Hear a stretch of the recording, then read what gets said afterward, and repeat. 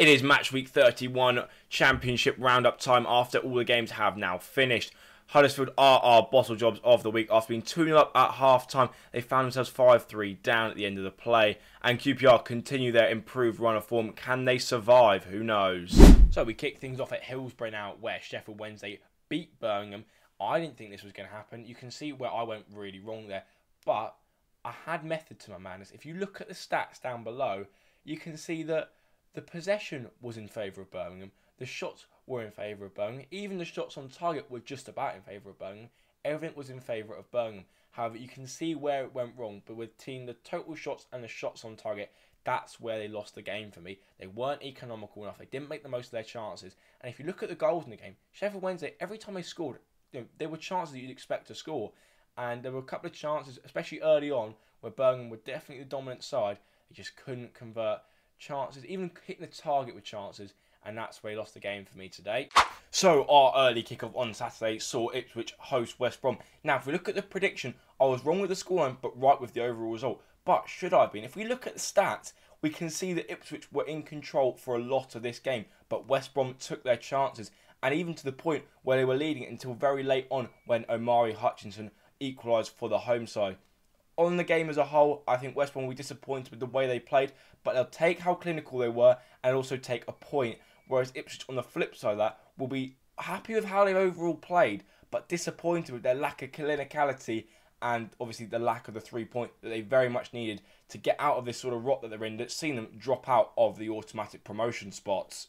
So we move on to the first of our three o'clock Saturday kickoffs, where I predicted Blackburn to narrowly beat Stoke as you can see, they beat them fairly comfortably in the end. If we look at the possession stats, Stoke were on top, but every other stat, Blackburn got the better of them and probably did deserve to win this game. They had more shots, more shots on target, and ultimately more goals. So another game now where we have got a wrong prediction. Cardiff versus Preston. I thought it was going to be a draw, and the result was 2 0 to Preston. And to be fair, they were very lucky to come away with this result. As you can see by the stats, they were dominated on every single front but you cannot fault a team for converting their chances. And Cardiff have been made to rue their misses. And that was a very shocking defeat for Cardiff, especially at home in front of their own fans. They've expected themselves to do a lot better, but credit to Preston. They've gone there, done a job, and won the game.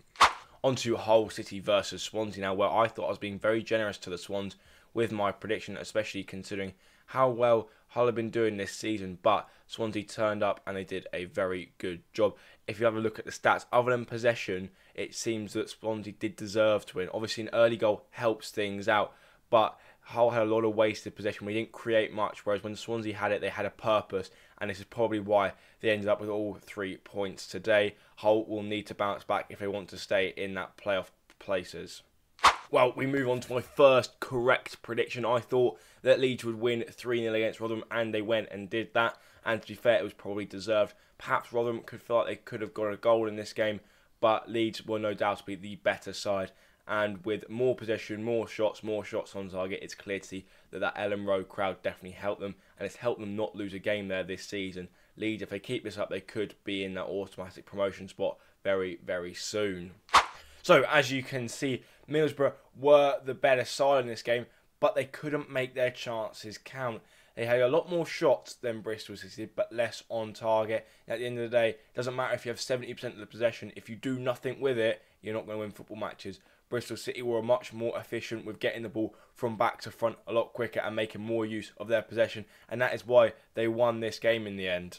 Over to Southampton versus Huddersfield now, where the stats would suggest that Southampton were the better side, and I predicted them to win by that two goal margin. But obviously, after a first few minutes, Huddersfield would have fancied their chances, especially going into the break leading. They should have felt like they would have uh, at least got something out of the game, and to collapse like they did in disappointing fashion wouldn't sit well with them. They even went back into lead after conceding those two goals just to collapse, and in the end get pretty much smashed. And I think that they have a bit of fight, and it's stuff like that that will cost them this season if they continue to perform on a similar level. As Southampton, they've kept their running going, and they are heading towards that automatic promotion. Now, as you can see, this was the first time I've ever predicted QPR to win a game of football, and they nearly did it to be fair. They are turning their season around, and if they keep going like this, they could go and get out of the relegation and stay in the championship for another year. Now, if we look at the stats, a draw is probably the fair result. Obviously, Norwich slightly edged them on the possession, but QPR edged them on total shots. So I think it's a 50 50 game, and a draw is probably the correct outcome. And I think QPR will be the happier of the two sides. Norwich really need to have a look at themselves this season as they've been really, really poor. Something has got to change very, very soon, or at least before the next campaign. Over to the Stadium of Light now, where after an early scare by Plymouth, Sunderland got their act together. And my prediction wasn't far off. Plymouth just needed to score another goal. Uh, but if we look at the stats, it was probably a deserved win for Sunderland, and they deserved to win comfortably, have more possession, more shots, more shots on target. It's clear to see that after Plymouth got that early goal, they just tried to sit in and hold out, but Sunderland went straight through that and uh, got a well-earned three points, and hopefully they can take some momentum from that and try and make that playoff push once again. On to Watford versus Leicester now, where I thought Leicester were going to really dominate this game. And to be fair, I think Watford can feel a little bit of grief because despite not having as much of the ball, they create a lot of chances, just couldn't put them away. Whereas Leicester were much more clinical and got the three points. I think from their point of view, it was a poor performance, but they battled hard and got the three points. Watford can take a lot of confidence from this game as they've managed to really fight against a team that is probably going to either break the record for the championship but definitely get into the Premier League next season. After leading for a large portion of the game, Millwall can feel slightly hard done by here, but as soon as that penalty was conceded, you could see a second one was going to follow, and it followed fairly quickly. Millwall just didn't wake up again, didn't react quick enough. Coventry went straight for it again, and now they find themselves in a playoff spot. And credit to them, they were dominant for all game. They were knocking on the door. It took them a while, but they kept going, kept going, and they got their rewards in the end. Three points to them, probably deserved and they can move on again on this good form that they are on. That rounds this video up. Thanks for watching. I'll see you in the next one.